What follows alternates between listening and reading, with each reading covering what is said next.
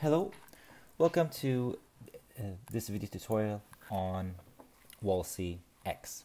So following on from the previous video tutorial where we connected our sliders and or genes, objectives, data type to the Wallacei X component, we are going to uh, now double click on the component and look at running the evolutionary algorithm. So the evolutionary algorithm driving Wallacei is the uh, NSGA2 algorithm written by Deb et al. Um, in the primer, you'll find the resources for this algorithm and for uh, more information on the actual uh, uh, uh, uh published papers um, and where to find those papers. So in the user interface, there are multiple tabs. The first tab is Wallacei settings. This is essentially the first the, the tab that you will need to set up your evolutionary simulation and run it. The second tab is to analyze the evolutionary simulation. The third tab is to also conduct further analysis, but for primary, primarily the purposes of selection. The fourth tab is the Wallacei forum, where you can access the Wallacei forum and the fifth tab is the primer where you can actually see the primer. So if I go to the uh, Wallacei forum here, you can go to the group and uh, uh, post your uh, uh, questions directly from here. And then there's this Wallacei cheat sheet here, which is recommended that you go through this before you run your simulation. It has just kind of a flight check, so to speak, on what you need to do and what is advised for you to do to ensure the most efficient simulation runtime. And then finally, if you didn't download Wallacei Primer, you can uh, uh, uh, view it here uh, through within from within the user interface directly, um, uh, and kind of stay up to speed with the different settings and different parts of the Wallacei platform. So we'll go back to Wallacei settings and we will start to set up our evolutionary simulation. So if I start to divide and look at this tab right here, so the first part here, this is my control panel. So essentially here are what I'm going to insert. And it's only actually this initial part here that I'm going to modify. The rest is just information that is going to be given back to me about my definition or my uh, uh, or the evolutionary simulation.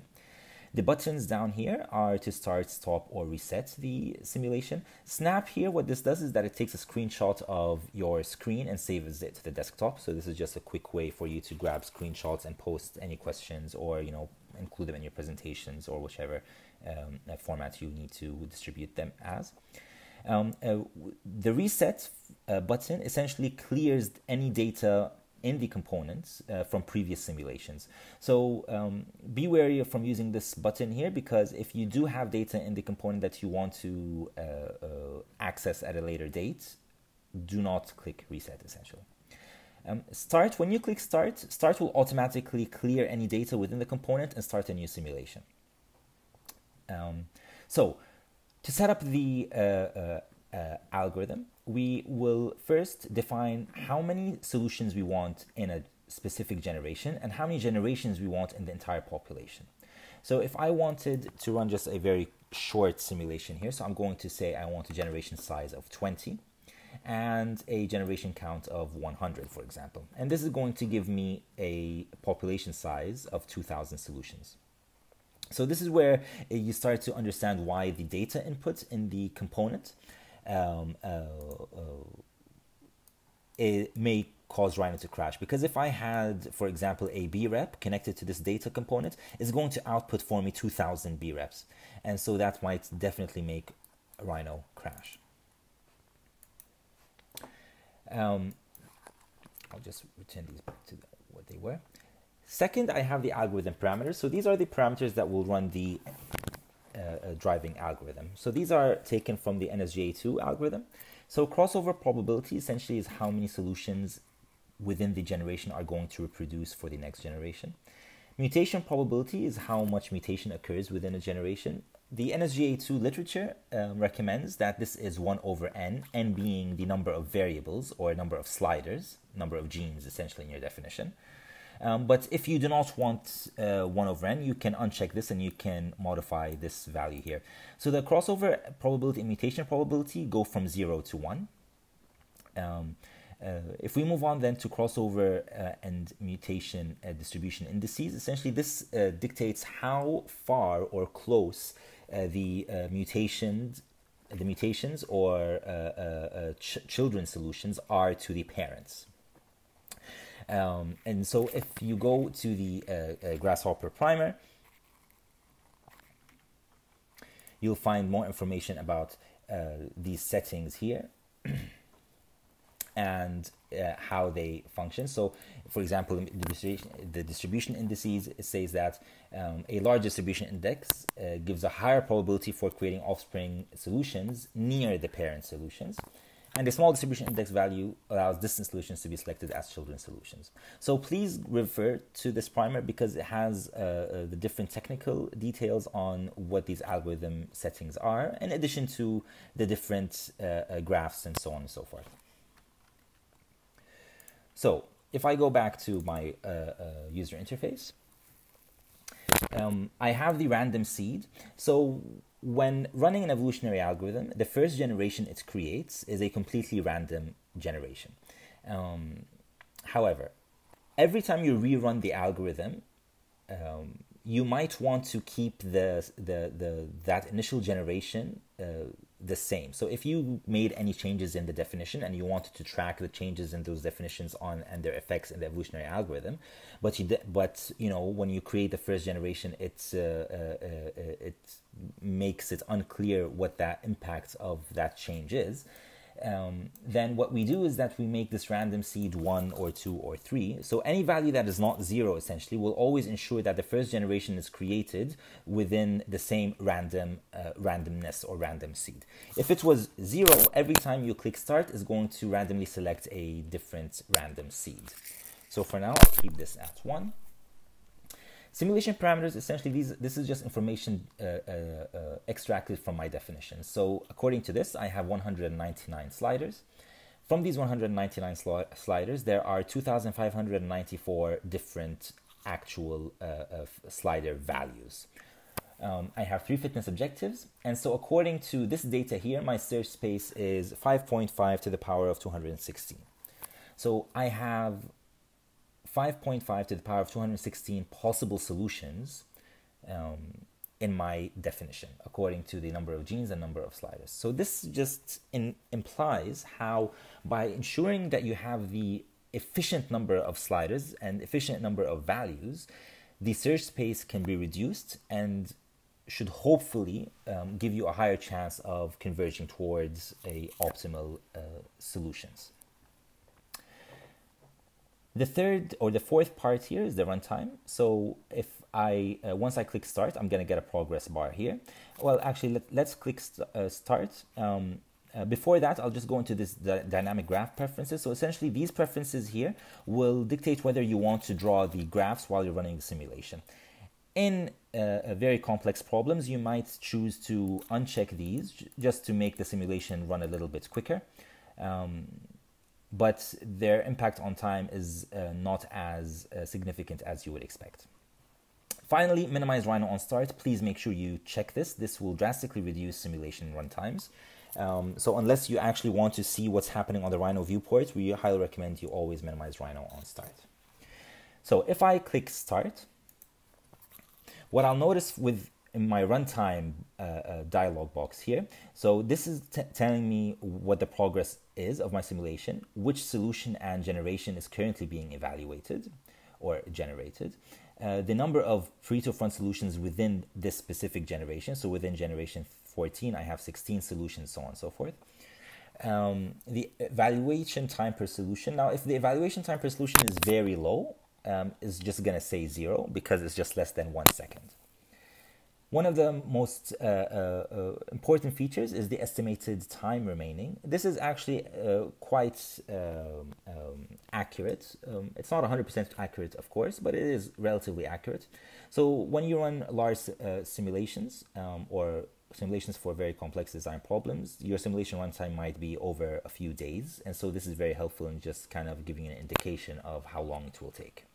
And the actual simulation runtime, this is the actual, you know, time the simulation is uh, taking from once I clicked start. So you'll notice that as I'm running here, I'm starting to get data in these graphs here. So this first panel here is a standard deviation. And again, go to the primer to know more about the standard deviation. But what this essentially tells me is how much variation there is within each generation. So each one of these curves uh, um, represents a generation. And the flatter the curve, the more variation there is. And the narrower the curve, the less variation there is. Now, this does not tell me the distribution of solutions. So, for example, in this very narrow curve here, I might have just one or two very uh, uh, far solutions from the average, and so what, that's why I'm getting this very wide or flattened curve here.